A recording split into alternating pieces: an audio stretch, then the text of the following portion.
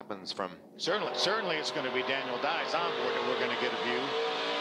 Oh, like he came up into the 12 a little. I mean, it's hard to tell, but the, there was some contact. It looked like from the 12.